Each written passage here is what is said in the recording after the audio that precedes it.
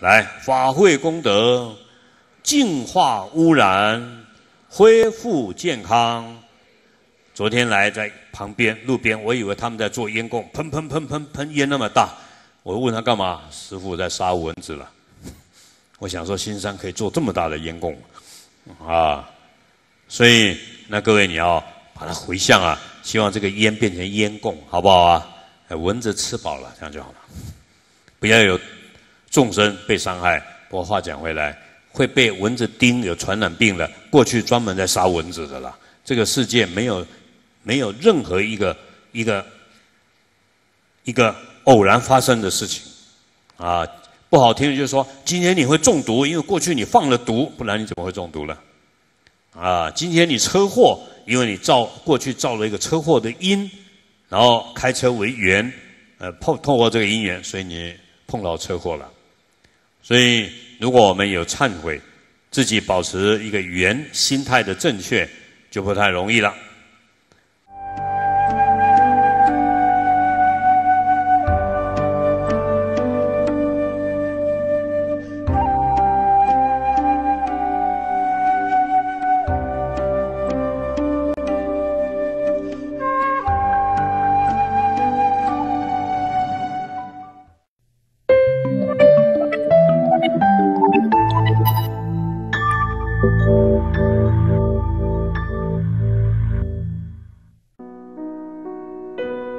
持生命电视台，就有如在护持十方三世一切佛法僧三宝。所以，期望各位把生命电视台所听到的教法，运用在您的内心里面，达到无我的空性，达到慈悲利益众生。更要随时收看，随时护持生命电视台，就是护持三宝。护持账号：一九九六五二三二。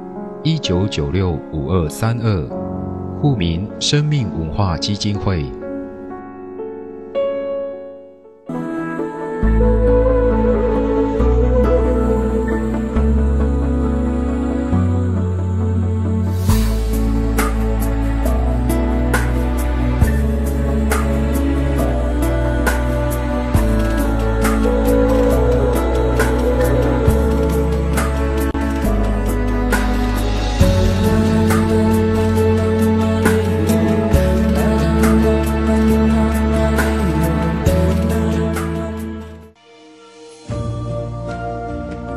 世界最高的龙普托尊者像建造于泰国大城府，法像高五十一公尺，由龙普托尊者的弟子购地兴建。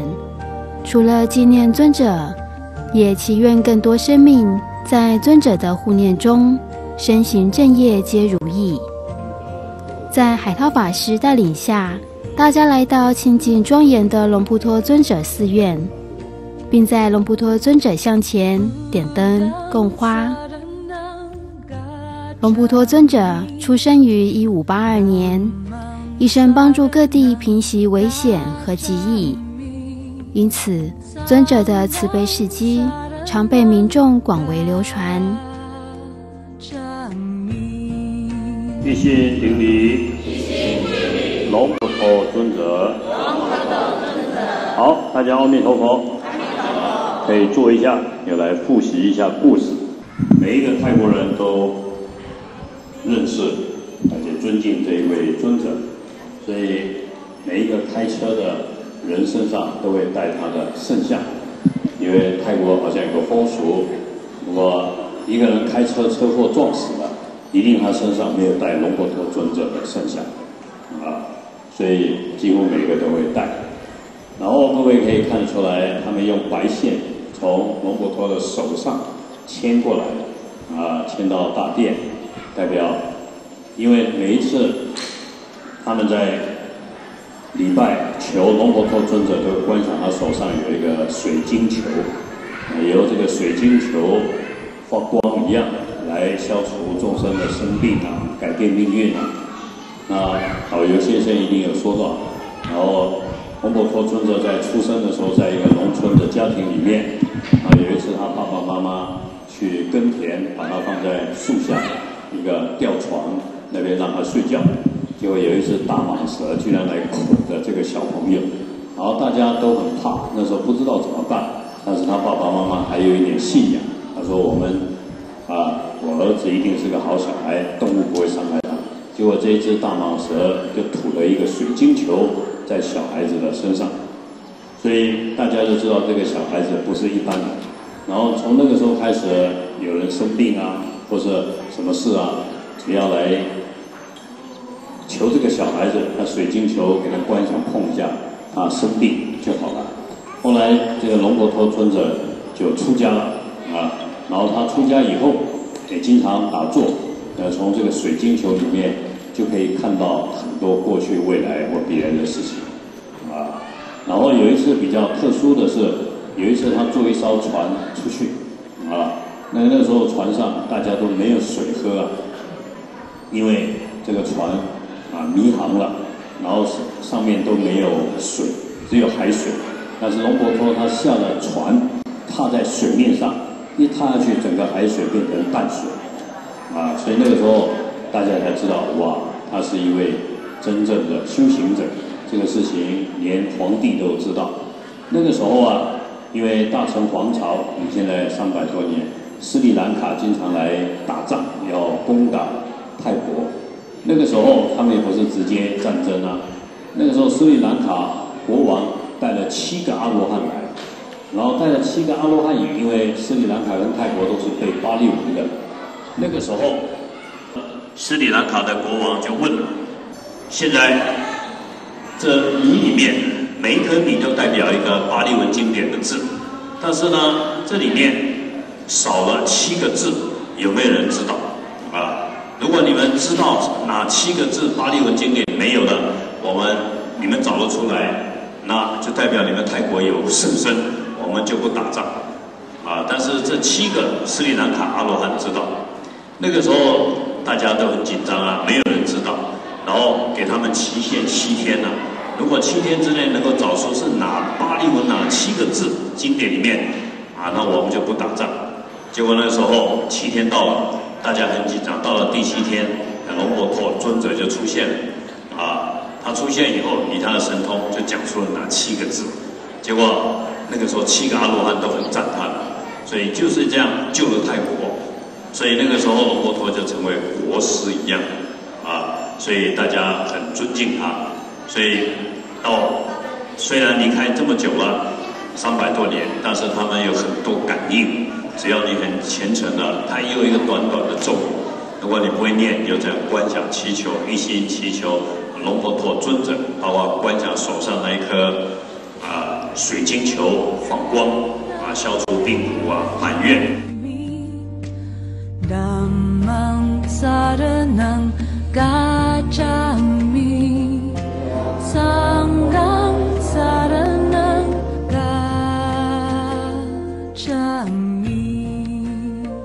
我代表生命电视台供养三千块美金呢，呃，造佛像，造大佛像功德，呃，那其他的各位就拿拿帽子随喜啊。好，这边三千块美金，谢谢菩萨。那他会选到这个地方，他说他可能是因为有这个呃神力呀、啊，指引他来盖这个，在这个地方盖。那他是因为有跟这个龙普托有许过愿了，啊，他有这个责任呢，应该讲责任来盖这个寺庙。大家可以祈愿啊，龙婆托尊者像观音菩萨一样非常敏感，不管你什么事情。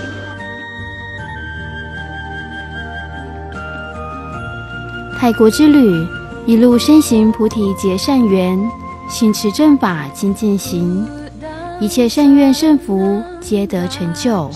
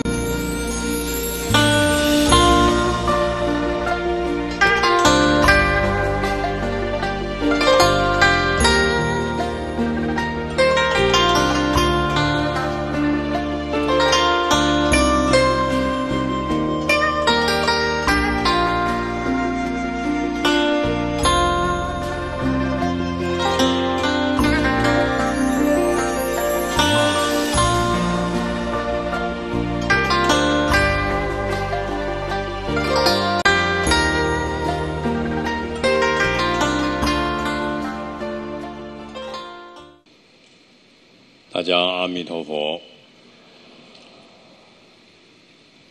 很难得有这么多菩萨以受报关斋戒的持戒的功德一起来读诵《地藏经》。《地藏经》对我们华人可以说是一部最有福报的经典，因为里面特别讲的是基本的孝顺的精神，由孝顺而提升为为众生成佛的大悲大愿的精神。就像各位读《地藏经》，一开始地藏菩萨过去做长者子，看到了一个庄严的佛像，好庄严。所以各位，你看地藏菩萨，地藏菩萨的像在所有菩萨像里面，也可以说是庄严第一。而且读《地藏经》的人，二十八种利益里面也说了。女宝第一，就算你投胎做女人，也是最庄严的。为什么呢？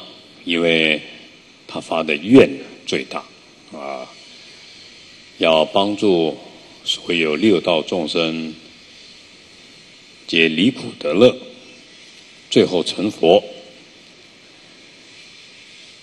甚至各位读《地藏经》，两个国王。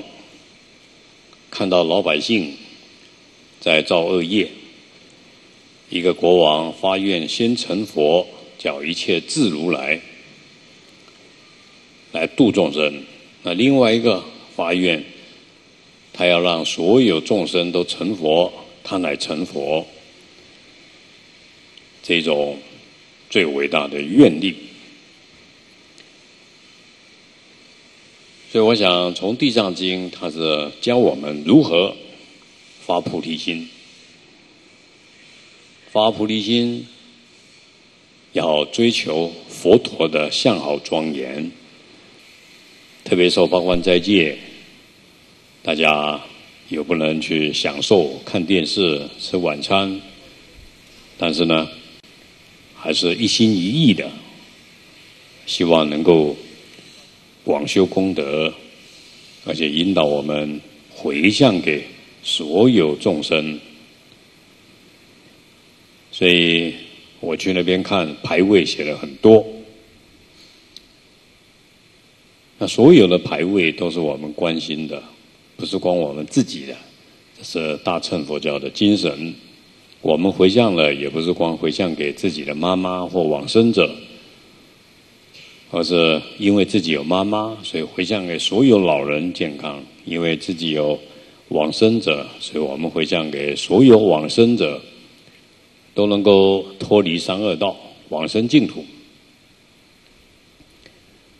但是从这里面，《地藏经》告诉我们一个非常好的真理，那就是原来生命有轮回，而且这个生命的轮回。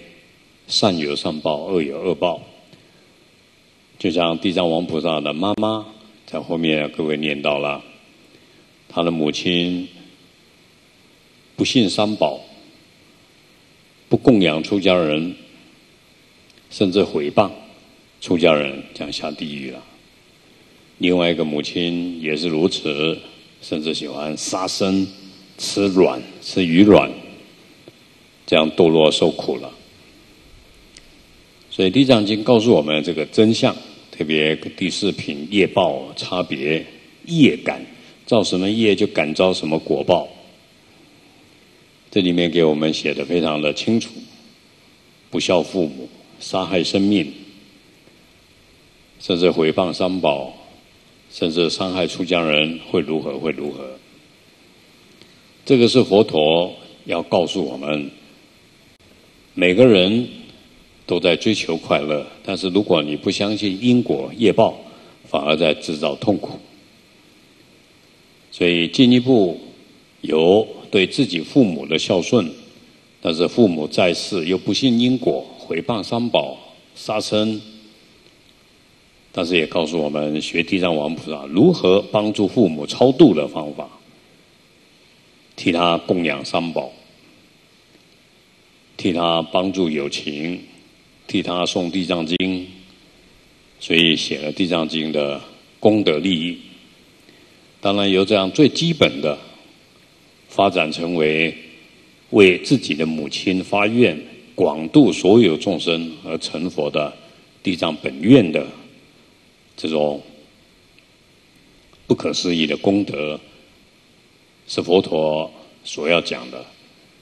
所以佛陀在天上讲了这部《地藏经》，那目的呢，也要告诉所有的天人，包括佛陀的妈妈，虽然善有善报，现在升天了，但是毕竟那个只是短暂的快乐，不是就近的快乐，啊。因为世间的金钱、世间的福报、世间的地位，等你享受完了，就像你现在很健康，健康享受完了就是老，就是病；财富享受完了，那就是贫穷、痛苦；爱情享受完了，最后呢，孤独、没有依靠。就像现在很多人老了嘛，儿女在外面赚钱，送他去老人院。然后老伴呢死掉了，剩下他一个人，他就要开始面对这个生命最后的老、病、孤独，甚至又担心自己死了以后，也不没办法面对，啊，也不知道死了去哪里。但是你读完《地藏经》，你都知道善恶业报轮回的道理，甚至。也学会超度父母，进一步超度众生的方法。所以我们在读《地藏经》的时候，就有无量无边的我们招请来的、关心的、回向的这些地狱道、恶鬼道，甚至《地藏经》里面说的一个临命终的人，乃至一个众生听闻到《地藏经》，乃至所有的佛号、菩萨的名字，乃至经典的一个句。他就可以脱离地狱轨道出生道，让所有痛苦的众生都离苦。所以刚刚我在后面啊，有一只母猫、野猫生了五只小猫啊，那我在那边观察它，哎呦，这个猫妈妈真伟大，它那个舌头就整天都在舔那五只小猫啊，就希望它们干净一点，它自己瘦巴巴的，瘦巴巴的。因为他要养五只小猫，却不断的、不停的以他身上的营养母奶给小猫吃，啊，所以我想人都有这个天性，它叫佛性，所以一心一意就是要让对方弱小的、痛苦的吃得饱、睡得好、离苦长大。那我们佛陀又跟我们说了。背着来，众生都是父母，所以在六道轮回的过程，没有一个众生不是做过我们的爸爸妈妈。所以你去孝顺众生，那你自己也得到快乐成佛；你去伤害众生，等于伤害父母，那你自己就会痛苦来自轮回。所以，我想佛教就要告诉我们。人是自己命运升天下地狱的主宰，一切都是我们自作自受。但是呢，如果你不了解因果轮回的道理，那你就认为反正我又没害人，我去钓鱼，我没有害人呢。啊，我为了赚钱，但是制造了一些不好的乃至排放废水，我又没害人。但事实上，你就一直在制造自己一个不好的命运。简单的说，是我们的心态，心态。所以佛陀最伟大的地方，人是自己命运的主宰，就是因为你的心态、思想引导你的行为造业，而造成了个别每一个众生差别的命运。但是地藏经告诉我们，虽然一个人造了很多恶业，如果他有机会念佛，南无宝相如来，南无居留孙佛，他不但不会堕落地狱轨道出生道，他将来还可以升天、升净土、成佛。所以，虽然众生无名不得不造业，但是三宝的加持、佛陀的加持不可思议。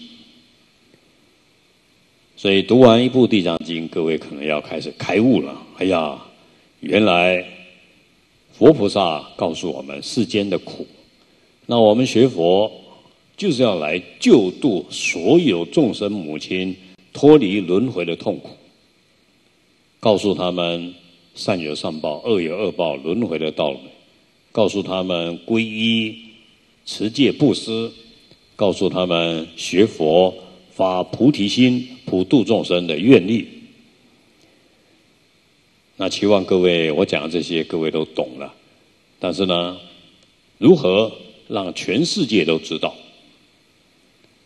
所以经典都有说了，当你看到一只猫，你都要这样念，念下来：皈依三宝，发菩提心啊！所以让他皈依三宝，他了解这个。善恶业报六道轮回的道理，让他皈依三宝，了解了无名贪爱执着造业生死轮回的痛苦，让他皈依三宝，知道用一个慈悲心、善良的心、智慧的心、忍辱的心等等，你可以改变你的命运。所以，从自己的离苦得乐而发菩提心。愿众生离苦得乐，为了让众生离苦得乐而发愿成佛。那各位就一定要背下来，再念一次：皈依三宝，发菩提心。所以你看到一只鱼，你看到一只鸟，就像我们昨天来借住在那家酒店，哇，外面乌鸦好多啊！所以信徒包给我一个好吃的面包，算了，不要吃了，通通不吃了。他们挣扎一下，到底是我要吃还是要丢出去？啊，结果还是丢出去了。哇，乌鸦来吃啊！赶快给他念皈依三宝，发菩提心，念一些咒语，希望他们吃了以后不要再做乌鸦了。所以我还跟我们法师说：“哎，今天法会完了，买多一点土司面包啊。”啊，那些乌鸦可多了，所以不但可以跟无形的众生结缘，做做烟供，乃至布施下去的时候，先念辨识咒，等下这个吃到的这些鸟啊、乌鸦，那么还可以脱离畜生道。所以，因为懂了佛法，我们人生改变了。所以，虽然今天太阳很大，刚刚有很多菩萨不断的在那边。加牛奶，加食物，有很多菩萨继续买了很多食物来，制造了很多甘露、妙烟，让他们闻疾解脱，脱离生病。所以食物是用金钱买来的，所以会发财。这个食物布施出去，可以让众生离开饥渴，有力量升天。所以你将来也会离开饥渴升天。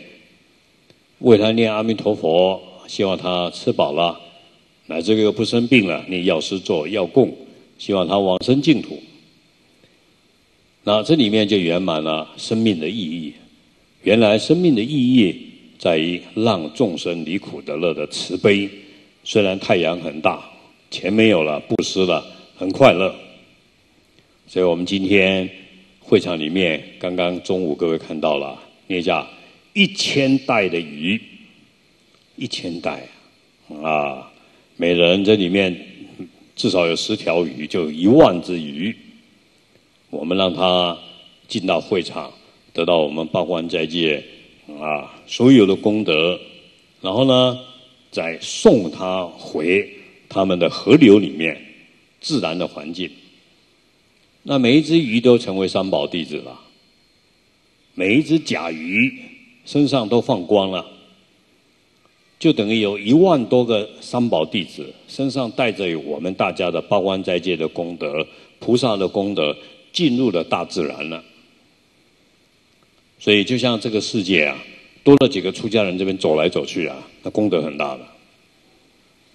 所以因为大家的皈依三宝，发菩提心，替他忏悔，替他洒净，皈依三宝，发四弘誓愿，为他说十二因缘法，教他发愿，念七佛如来，回向他们将来都能够往生净土。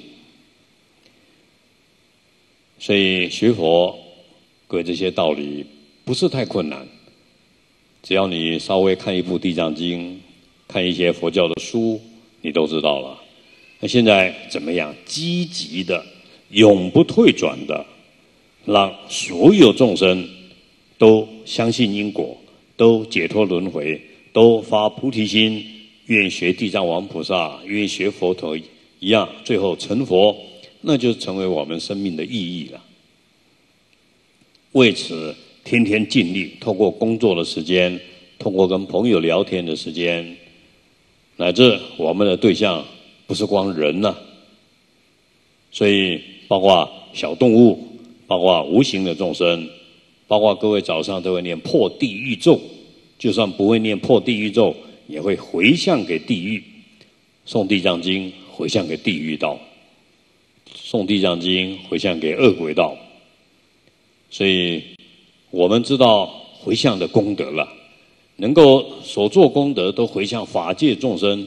超过百千万亿倍，这个回向法界众生都成佛，你从今天开始一直到你成佛，这个功德天天都在增加。这个观念要注意，比如说你妈妈生病，你把功德回向你妈妈病好起来，好像是对。问题有一个不圆满，当你妈妈病好起来以后，功德就没有了。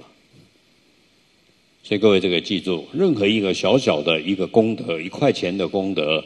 像我们今天那个鱼，一只一块麻币这么大一只，那你救了一个生命，回向所有众生同享功德，所有众生都跟鱼都跟你最后成佛，那这个就这个就是无上的功德了。这个世间未来多少的佛了，而且并不是说你救十条鱼的功德而已，我们每个人都享受那下共善业的功德。等于今天来参加法会的每个人都救了八只的大甲鱼，野生的，一万只的这些啊巴丁鱼，也不是光你出十块钱，这些鱼合起来几千块，每个人都共同出这个钱。这一场法会开销有多大？啊，租场地、放冷气、插花、买食物，你想同享功德。所以各位要这样去想啊，造恶业很可怕，哇，很痛苦啊！如果我们这一千人看到一只鸡或猪，我们共同看到它在杀，觉得很高兴，这个叫共恶业，每个人都杀一只鸡。所以在在一部《十二华严经》里面说，三个人共同杀掉一只鸡，三个人都要下地狱，这个叫共业。十个人杀，十个人都要下地狱，因为这个都有杀业。所以我们了解这种业报，我们现在创造的是一个共善业。今天各位受八关斋戒，不是你一个人的功德，而是今天有一千个人，你等于有一千个人八关斋戒的功德。今天各位诵地藏经，不是你念一部地藏经的功德，有一千个人。今天我们等于念了一千部地藏经的功德，所以。